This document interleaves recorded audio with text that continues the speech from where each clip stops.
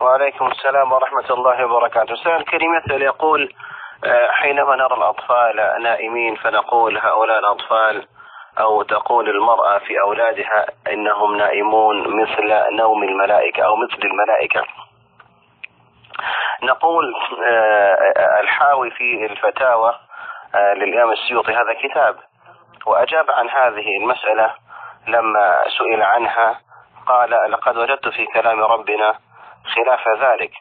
ثم ذكر قول ربنا عز وجل يسبحون الليل والنهار لا يفترون. وعلى هذا فهذه المقولة لا تصح والأولى أن نبتعد عنها. والله أعلم وأحكم. وصلى الله على نبينا محمد وآله وصحبه وسلم. وآخر دعوانا الحمد لله رب العالمين.